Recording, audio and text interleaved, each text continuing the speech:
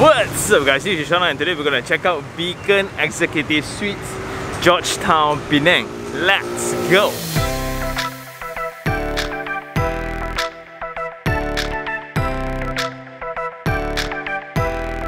We are now in this intersection along Jalan Sungai Pinang and this address seems like an old one judging based on the surrounding elements. So right at the intersection next to it you will have all these old structures. Then on the other side you will have wooden houses. Hmm.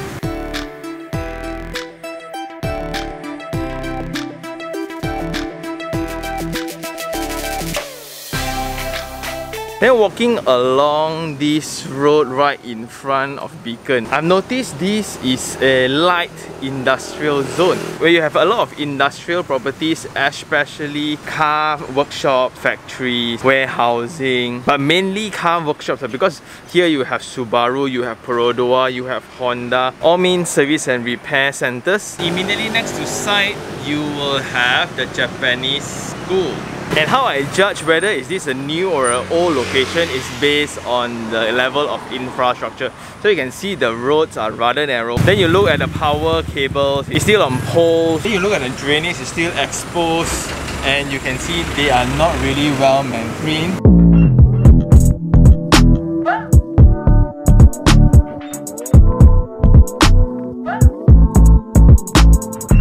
So although this is located in Georgetown, right, this is not the Georgetown that we know, the one that is a bit more oriented towards the tourism side. This is full local where a working Penangite will hang out. Because across these roads you can really see people blue collar, white collar, all are just heading to work right now. The Beacon is one of the latest structure around this entire town. This building actually stands out in the drone shot even the landscape, even the pathways. And also to talk about the Soho setting, right? It makes a lot of sense, especially when you are located in this address where it's really in between residential use and commercial use. You can actually run this as an office if you want to. You can actually stay in if you want to. You can actually rent it out for temporary. Homestay also can because ultimately it's still within Georgetown. It's still not too far away. Plus this just got handed over and let's go check it out.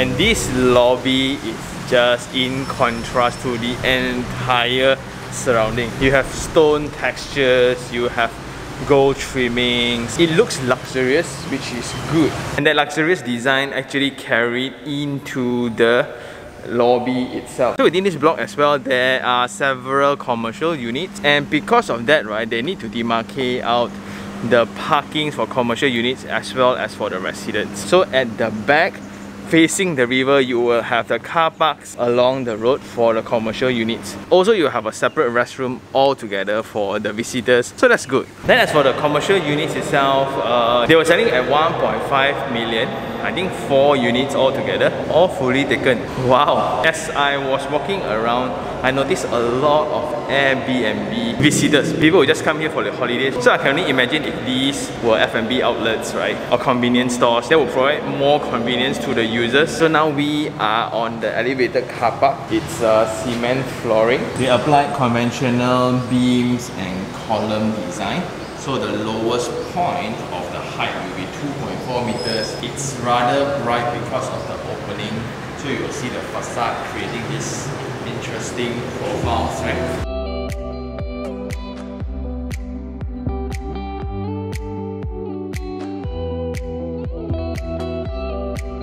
So coming in through the main lobby, it's really luxurious. The entire feeling feels more like an hotel compared to a Soho. And once you come up to level 28, we have a mural by Louis Gan and that reflects through this amazing view. In order to preserve the daylight, right, I like they partition up this using glass so you still get light but rainwater won't seep through it. So this view is just spectacular. What you can see here is that unblocked view And surprisingly, I felt that this is like the very very low dense part of Penang. At the far end, you can actually see Galaxy. Very cool. And then this can be a pre-function space before the function room outside, right? And you can actually rent this space all together to host your family and friends to just have some fresh air or whatsoever. You have that triple ceiling height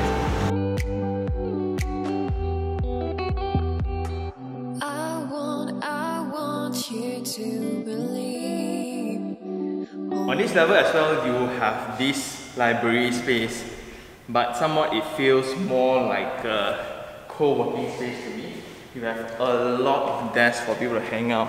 And I can almost imagine, right, if the office is just too small, if you want to operate a hot desk system, some staff might not have sufficient space. You can actually just come up here, enjoy the view, and reply your emails. Then right opposite, you have this community hall where it's somewhat like a community kitchen or a community dining hall as well. So you have the hob here by Teka, two of them. Then you have the fridge, you have the solid surface Teka basin, and you have the oven and microwave.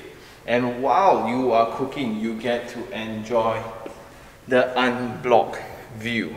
And I guess this is the sharing culture where your unit need not to be big anymore. If you have any needs of having a gathering with your family and friends, you can just rent the place from the management, host your party here. You have coffee tables, you have furnitures, you have that crazy length of dining tables, and this entire stretch are all open. That's very nice. And now we are at level 29 and you can see the uh, enthusiasm towards art. So at the edge we have this children playground where you have the rubber tiled floors for safety purposes. Also they use landscape as a buffer so kids will not attach themselves to the glass handrails. And I must say this view is amazing, right? At the front you have the sea at the back, you have the mountain and that's the beauty about Penang. And looking at the immediate surroundings, you will see a lot of old apartments, a lot of this rumah-rumah kampung, a lot of public buildings, that signifies the age of the developments. It also means the completeness of the amenities for the local community. For example, schools, commercial area, offices, place for prayers and etc. On the same floor, we also have the gym and this gym looks very complete in terms of equipment. Here you have the cardio zone. Unfortunately, it's not facing the pool, but you're facing some landscape area. Then you have the free weights zone this side. I like the size of the mirror, that's good. Then you have the lockers here to maximize all unused space.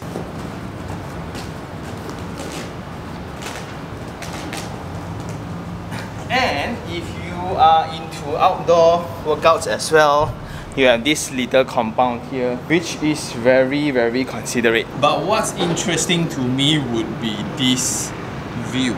So there you can see the Karpal Singh Drive and it's only one street away.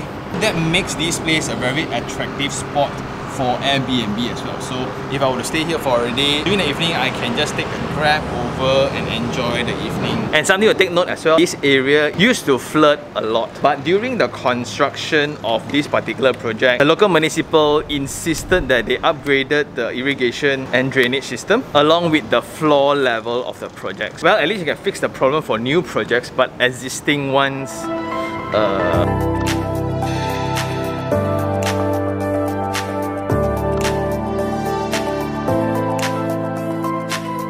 Then on the other side, you will have this swimming pool deck along with this turf area with some outdoor furniture for you to chill. Two little pavilions here, but personally I think this is the hero space of the entire development. And because this is a brand new project in an old address, right? You will have this 360 panorama unblocked view. Here you will have a timber deck with the kids wading pool and that will be the lap pool with your infinity edge looking across the sea. Then next to the lap pool, you will have fixtures like this for you to have different interactions with water. You can also just chill around here, enjoying that amazing view. Wow. So because this project is new, there are just more facilities in comparison to the immediate surrounding that mainly consists of flats. So flats are just pure residential components only. The most you have a car park, the commercial areas below and there will be the residents above. The usual affordable slash social housing setting. But this is just in contrast totally to all those and that's something that I really really enjoy. Like we have checked out their project before, their approach to facilities is quite fascinating I must say.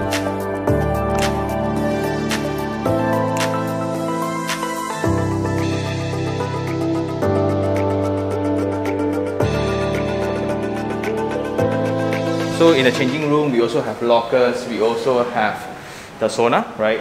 And this is also another piece of artwork.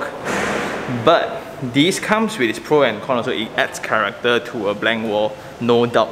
But what happens if it's damaged or the color faded for maintenance and things like that? Only the artist can repaint or retouch up. So before we check the unit itself, there's 12 units per floor, 2 passenger lift, 1 service lift serving them. This is a single loaded corridor. It means that there's only one side of the corridor that has units. So that gives a lot of privacy to the users and there will be not one unit facing each other. Because they located the voids in the center, it's going to be so open. So coming up from the lift, this is the lift lobby. This 3 meters width, 4.2 meter height lift lobby surrounded by two voids, right? It's just so open, so windy, and so bright. Then going into the common corridors, it's 1.45 in width, and this will be the service area. And this will be the utility room. I think it's the refuse chamber. The walls partially tiled up, there's a ventilation there, and there's ventilation through the door as well and this will be the service lift. Our school they left this service area open. So instead of tiles, they use paint instead for skirting and you have this 4.2 meter ceiling height and check out that view, right? Because it's single loaded, it's just so open. But this also has its problem. When rain comes, when the wind hits this direction, it's gonna be pretty wet in this area. From the corridor coming in, you will have this private foyer. This is one of the biggest foyer that I've ever seen. Clearance wall to wall 2.1 meters. This is 1.5. And only for this floor, level 27, you will have this 4.2 meter height for your ceiling which is amazing and this is very special if you want to create that sense of arrival or you want to provide context to what you do in this unit as your business. If I'm doing films, there will be different video frames or whatsoever. Then going into the unit, this door width is 1 meters and heading in you will have the unit.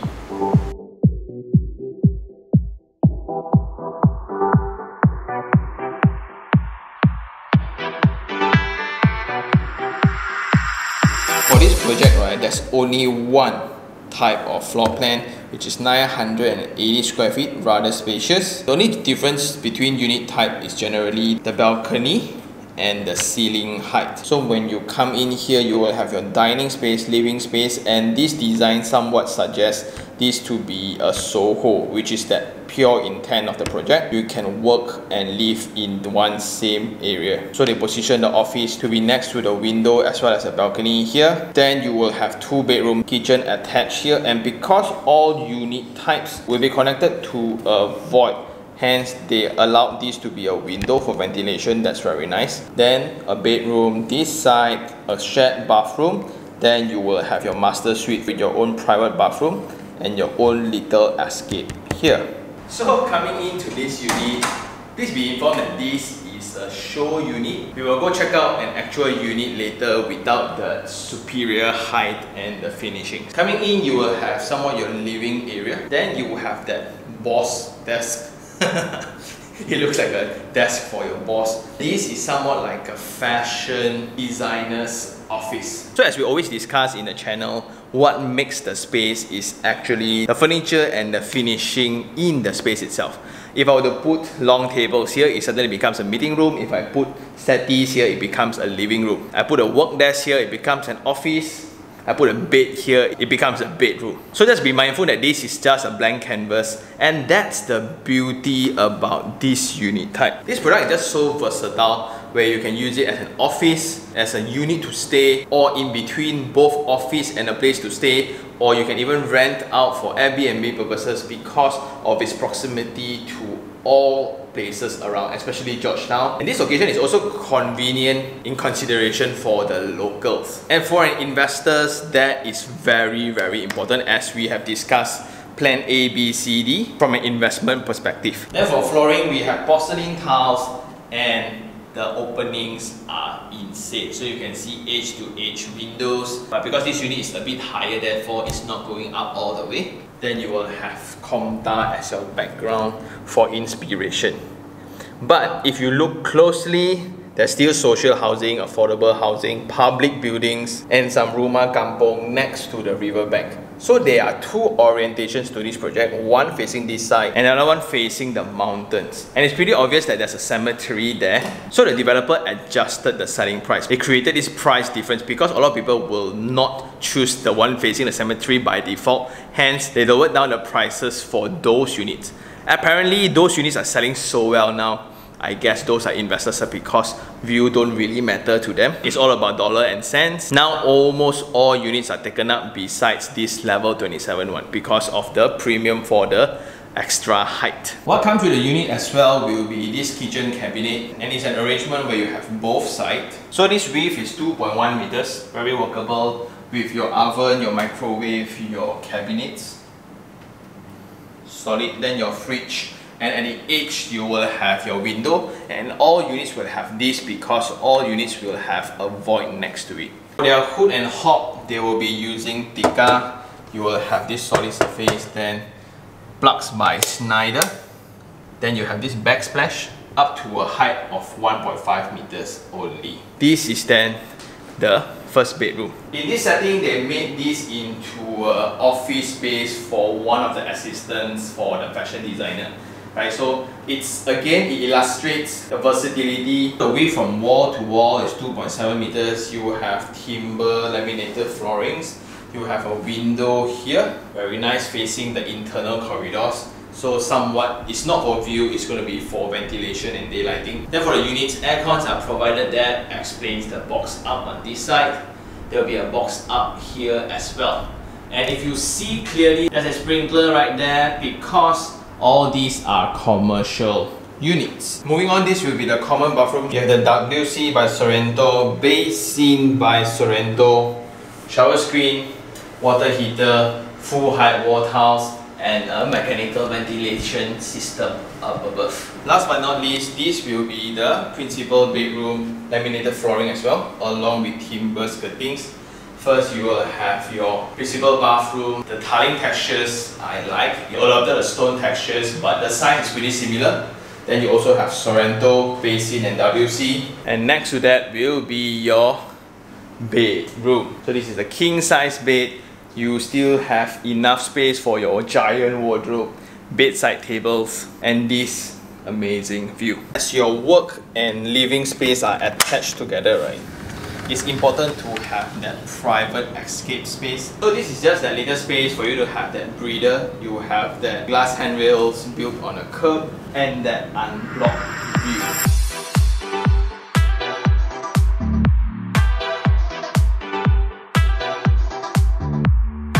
Then the window size is huge. You have one here, then you have this little vertical ones here joined together. Then your aircon unit above the door. But something important to highlight here, if you were to choose the unit with the extra 2 feet ceiling, right? So this one is going to have 3.6 meters in ceiling height. The normal one is around 10 feet, which is around 3.03 meters. The extra 600 is going to create a dramatic effect, but it comes with extra cost as well, especially for your windows, for your wardrobes, for your lighting installation and fan installation and etc. Just be mindful with it. And coming out from the unit, if you are the corner unit, right?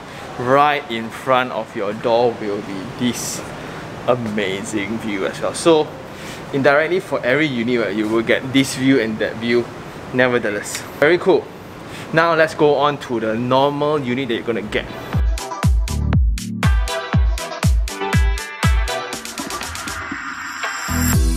So now we are in the standard unit. The main difference will be the common areas in terms of the corridor height because of its height now, it needs to come with a sprinkler system. But something cool to point out would be that standard grill door design that every unit needs to have. Then for the unit itself will be that extra 2 feet of height. And it's really amazing to know that 2 feet actually makes a lot of difference. But the materials, the kitchen finishing, toilet finishings, aircon units, are generally the same. The only difference I notice will be the balcony handrail. And it's advisable to check out both. One is for you to have context on how to really utilize the space because the space actually looks bigger when you furnish them up. And I think it's now time for Sean take 3 on 3. For the 3 points I really like, number 1, definitely the versatility of this project. This freehold Soho in a commercial title, right?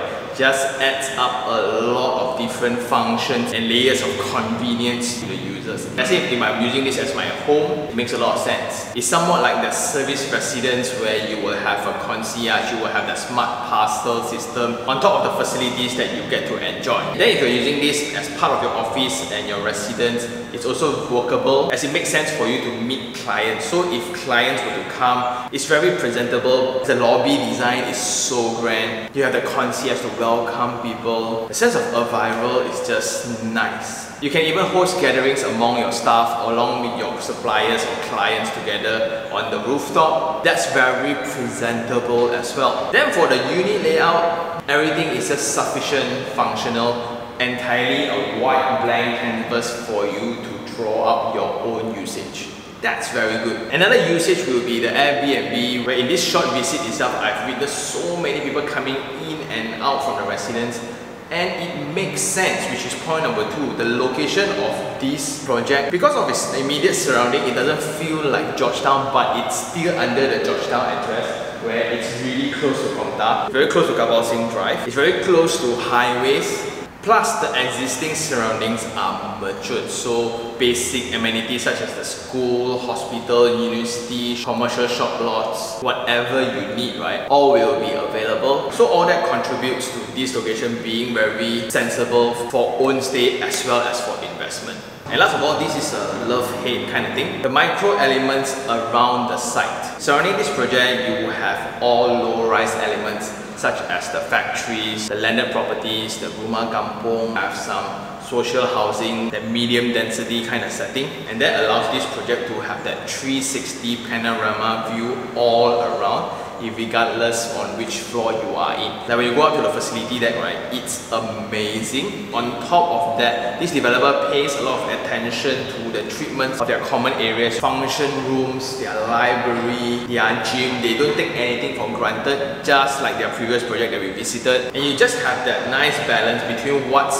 within the space and what's beyond the space. The outdoor-indoor relationship is just very, very pleasant. But that is also one of the reasons that I I don't like. The immediate surrounding of the site, you have car workshops, factories, warehouses, rumah kampung, borderline squatters, I'm not too sure, very old apartments, as well as the cemetery. Because of the view being so unblocked, you get to see everything. Therefore, all those elements are also visible.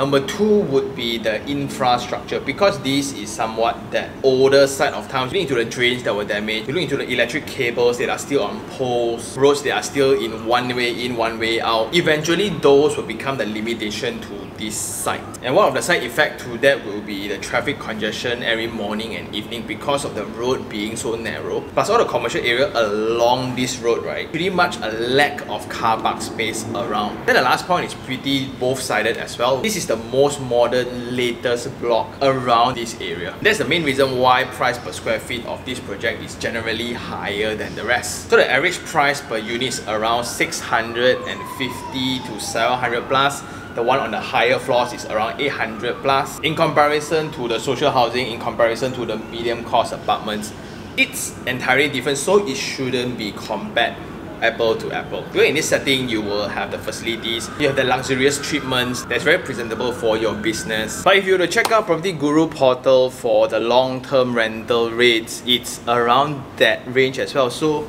if you were to buy and rent out long-term immediately, you can somewhat break even. But based on the observation of the Airbnb activities around here, I guess they are making profits right now. So in conclusion, do I like this project? I actually don't mind this project. It's that low density freehold multi-usage investment type of property located at the fringe of Georgetown. And with that, thank you very much to the team for showing me this. And if you really like this episode, like it, share it, and even subscribe for more information like this. Until next time, this is Sean Tan. Ciao.